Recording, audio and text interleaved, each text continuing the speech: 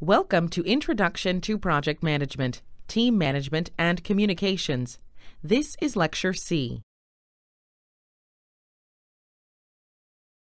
The objectives for team management and communications are to identify and describe roles of members on a project team, develop the human resources plan, acquire, develop, manage, and lead the project team, identify project communication responsibilities, develop a communication plan. This lecture will focus on the last two objectives. In their book Leadership and the One Minute Manager, Hersey and Blanchard presented four leadership styles defined by task behavior and relationship behavior as effective motivational techniques. These leadership styles ran the following spectrum from S1 to S4. S1 Telling or directing is characterized by one way communication in which the leader defines the roles of the individual or group and provides the what, how, why, when, and where to do the task. S2 Selling or coaching. While the leader is still providing the direction, he or she is now using two way communication and providing the socio emotional support that will allow the individual or group being influenced to buy into the process. S3 Participating or supporting. This is now shared decision making about aspects of how the task is accomplished, and the leader is providing fewer task behaviors while maintaining high relationship behavior. S4 Delegating and observing. The leader is still involved in decisions, however, the process and responsibility has been passed to the individual or group. The leader stays involved to monitor progress. Hersey and Blanchard go on to state, quote, Of these, no one style is considered optimal for all leaders to use all the time. Effective leaders need to be flexible and must adapt themselves according to the situation. End quote. In summary, a project manager must focus on both management and leadership in order to effectively lead a team and manage a project. As a leader, it is important to challenge and refine existing processes.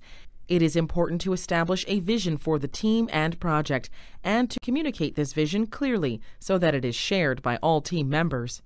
As a leader, the project manager must do his or best to empower others. In order to build the most effective team, individuals on the team must have the trust, ability, and confidence to perform. Leaders must model the behaviors appropriate to project and team success.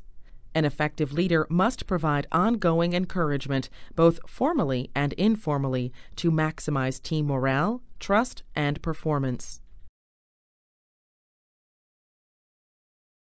Project Communications Project management is 80% communication, 20% perspiration, which is why the communication plan is one of the most important sections of your project management plan. Project communications management ensures that all team members share the same project focus.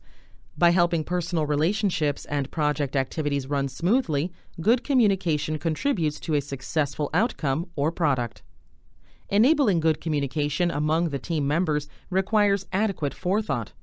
The project manager needs to review all the available information to decide what stakeholders need to know to achieve their objectives, and then establish how often and through which channels that information should be disseminated.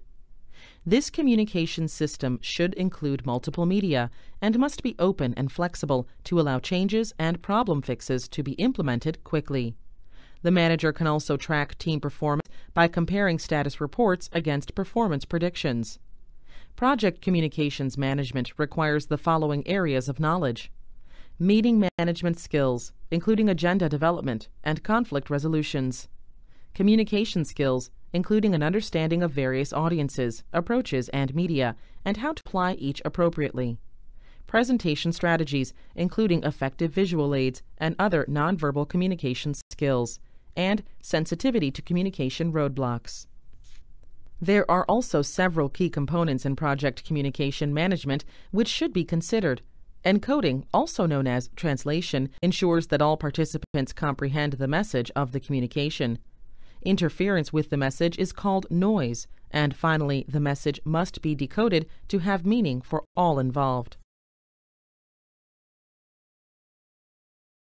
During project planning, the project team develops a communication management plan, which contains a description of the identified project stakeholder information needs and defines approaches for communicating during the project. A communication requirements analysis is performed to determine the stakeholder information needs. Project team must determine what project information will be shared, who it will be shared with, when the information will be shared, and how the information will be shared. Information in the Communication Management Plan may include organization charts, responsibility assignment matrix, RAM, name and contact info of change control board members, meeting times and locations, locations of team members, plus more as determined by the project management team. Communication with healthcare staff members is very important and complex. Remember that most institutions are 24 7 365.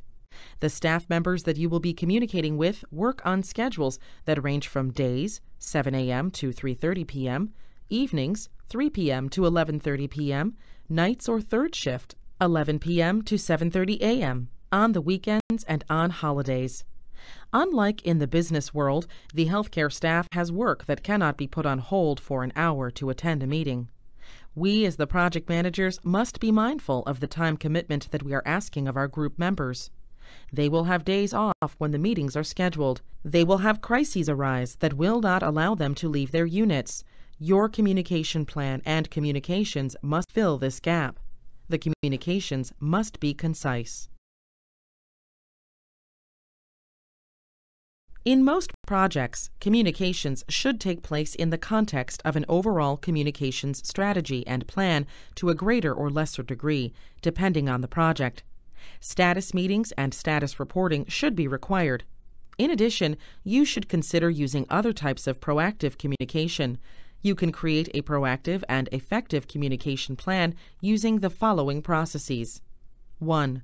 Identify all project stakeholders. In some cases, groupings of stakeholders may have similar communications needs, for instance, a project steering committee. In other cases, you may need to consider a single person, such as a sponsor, and communicate with them in a unique way. 2. Determine the communication needs of each stakeholder. Each stakeholder group may have some similar and some unique communication needs. The communication plan helps you get the right information to the right people. Brainstorm about how to meet those needs. For each stakeholder, brainstorm how to fulfill their communication need, determine what they need to know, how often they need to be updated, and the delivery method that is most appropriate. 4. Implement mandatory communications. Put in place communication options that are mandatory for the project or for the environment. These options should include project status reports, in some cases, there may also be government required reports, legal reports, or otherwise. It is essential to be aware of and on top of these. 5. Prioritize the remaining communication options. Determine how effort is required to create and distribute each of the communication options identified in Step 3. Determine the potential benefit of the communication to the recipient and the project team. Once you have completed these actions, prioritize the communication options that you have identified. Implement the communication options that provide high value and require low effort from the project team. Discard options that are high effort and yield little benefit. Also, discard the options that provide little benefit, even if they require very little effort from the project team. 6. And finally, create a schedule of communication activities from the prioritized list you created in Step 5. If you do not add the communication work to your schedule, the chance of it getting done is greatly decreased. Your schedule should assign frequencies, due dates, time required, and responsibility assignment for each communication option you decide to implement. Be sure to include in your communications action items that need to be done who is responsible for the items, and a time frame that they should be done. These are some of the requirements that overseeing and regulatory bodies look for when they review the project documentation. These action items should be reviewed at every appropriate meeting until they have been resolved. Adding a line item to every communication template with the necessary items will ensure that these action items will not be forgotten. During project planning, the project team conducts a communication requirements analysis. This analysis should determine the type and format of information needed to develop the communications management plan and identify the stakeholder information needs. An earlier project planning step in either the project charter or the initial project plan should include a stakeholder register. This register will be a great benefit in your communications requirements analysis. Everyone has a preferred way of giving and receiving information. For some, emails are best, others like oral presentations. The style and method will depend on the person. All communication styles and methods should be represented in the communication plan. It is always best to present the information in a variety of styles and methods. Many times, the receiver of the information will not grasp a point in one communication style, but will understand it in another style. If you have not already produced a stakeholder list and stakeholder analysis, your first step on communication planning should be to identify stakeholders and create a register. Your first priority in creating a stakeholder analysis as part of the communication plan is the identification and listing of all project stakeholders. What is a stakeholder? A stakeholder is defined as anyone who stands to be impacted by the operations and deliverables of your project. The Identify Stakeholders process pinpoints any one or any institution with a potential effect on the project. These stakeholders may consist of clients, project staff, or consultants. Stakeholder analysis graphs stakeholder interest along the x axis and the stakeholder power along the y axis. The following steps can be used to create your project stakeholder registry. Step 1 Identify all potential stakeholders and relevant information add them to the leftmost column on your stakeholder registry. Step 2. Identify and record their department or company, the role they will likely play in your project, what their expectations from the project may be, a description of their type and their level of influence, a measure of their power or impact, and what stakeholder category they fall into. Step 3. Assess how the stakeholders are likely to react or respond in various situations to help plan influencing them to enhance support or mitigate negative impacts. Sounds like risk management? It's a lot like risk management. Develop a stakeholder registry for the CRMS scenario based on your analysis of the staffing needs. Include the expected project stakeholders, Based on the stakeholder analysis, develop a stakeholder registry grid for the CRMS scenario from Slide 4. In order to be effective in project communication, it is essential to consider the following items. What types of communications will you use? Are there barriers to communication and elements that will enhance communication? You can greatly improve communications by identifying these and addressing them. How many lines of communications exist between all project stakeholders? The larger your project team and stakeholder group is, the more complex communications become, and the greater number of lines exist. This makes it essential to distinguish formal project communications from informal or non project communications. Have you established forms and defined what is appropriate? This can help avoid problematic and unintended communications. What media and distribution methods will you use? Is your team open to electronic communications, or do they prefer paper, face to face, or telephone? If you are working on international and virtual teams, this will impact how you must communicate. Have you implemented an effective meeting practice? No one likes having their time wasted with unfocused, rambling meetings. Be sure that you have a meeting protocol that maximizes efficiency. How often do you communicate? This is important, especially in the electronic age when many people expect instant communications and response. Be sure that these expectations are set clearly. Special attention needs to be paid to communications sent to the provider group. This group includes doctors, physician's assistants, and nurse practitioners. Most other groups, such as nursing, pharmacy, radiology, etc., in the healthcare organization, have developed a strong communication methodology. The provider group has a looser connection to the institution. They pose a challenge because they are not employed by the institution, but only interact with the institution when they have a patient in the hospital. The Communication Management Plan defines the project's communication requirements, tools, and strategies, such as necessary communication devices or methods, such as text enabled mobile telephones, or expected communication media or formats, such as regular meetings via the Internet. The plan also identifies the personnel in charge of each type of communication. Communication management plans can vary in the presentation, format, level of detail and instruction, and breadth of scope. An effective project management plan should, at a minimum, describe communication needs of project stakeholders via a stakeholder registry. Describe how communications will be managed on the project, including the type and format for communicating information. It will also describe when and how communications will be shared via a communication schedule. It also identifies who is responsible for providing information via a responsibility assignment matrix and project reporting schedule.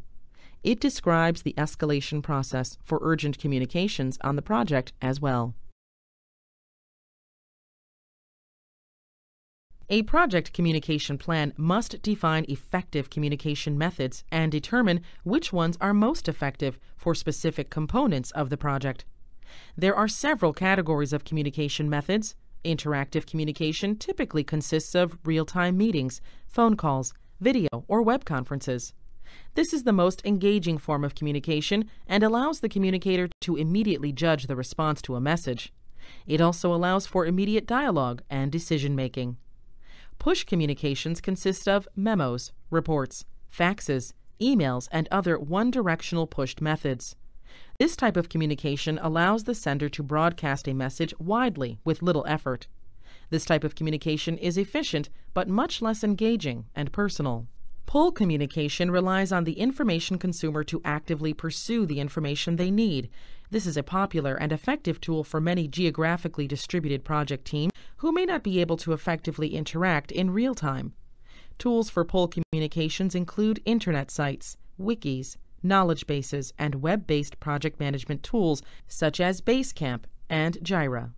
In large and small healthcare organizations, multiple, frequent communications are best. Use every communication that the organization has to get your message out. Sometimes the low tech processes are not used because we have so many high tech communication methods. A sandwich board outside of the staff lounge or cafeteria can work wonders where an email will get ignored. This slide is intended to illustrate how complexity of communications grows with the size of the project team. The number of communications channels grows by a factor of n times n minus 1 divided by 2, based on the number n being the number of stakeholders. So if you have 5 stakeholders, you have 10 possible communication channels. If you have 9 stakeholders, you have 36 possible communication channels. Growing project teams and project stakeholder lists can significantly impact the complexity of communications and greatly increase the necessity for a formalized communication plan to order and control the communications. The primary purpose of this process is to make sure that you meet stakeholder needs and resolve any issues they may have. Several tools play a key role in managing stakeholder expectations. First, the Stakeholder Register provides information on each stakeholder. This will greatly assist in working effectively with each stakeholder. The Project Management Plan, which contains the Communications Management Plan, is a required guide for communicating with individual stakeholders. It is important to keep an issue log and change log in order to track stakeholder concerns and changes that may need to be made to the project based on their concerns. Communicating with upset stakeholders often requires finesse and tact. It is important to understand the intangible tools required for managing stakeholder expectations. These are communication methods, interpersonal skills, and management skills. It is important to note that this process often results in project change requests. When change requests are made, updates to project documents and the project plan are also made. One of the most essential elements of the effective coordination of the project is the dissemination of communication regarding the current performance to all relevant stakeholders. This reporting coordination is accomplished via an established performance reporting plan. Performance reporting refers to the process of collecting and disseminating performance information to all relevant parties. Typical information that is provided via reports includes the following the overall health of the project. Is the project on time, on budget, and meeting quality or feature requirements? Activities which will be undertaken soon. Has the schedule shifted or changed? Are there key activities coming up that various parties should be aware of? Any risks or critical issues? If problems have arisen or new information has exposed unanticipated risks, these are essential items to be communicated effectively in a project report. Financial status and forecast. What is the overall financial state of the project? Is it coming in on budget? What are the projections regarding budget and project cost? And finally, action plans or next steps. This can include adjustments or changes to the plan. This concludes Lecture C of Team Management and Communications. In summary, this lecture has covered Project Human Resource Management and Project Communications Management. Key points to highlight in Project Human Resources are the steps to build an effective team, from planning to acquisition to development and management. The development of an HR plan will provide the backbone and set the stage for a successful team and project. Project communications planning is essential for creating an effective team and communicating the success of the team to all stakeholders. It is essential to have a plan that includes protocols, standards, and expectations for communication, both within and beyond the immediate project team. Existing organizational standards will play a big role in the development and use of both human resources and communication plans. Each of these plans will be informed by and inform revisions to the project charter and project plan.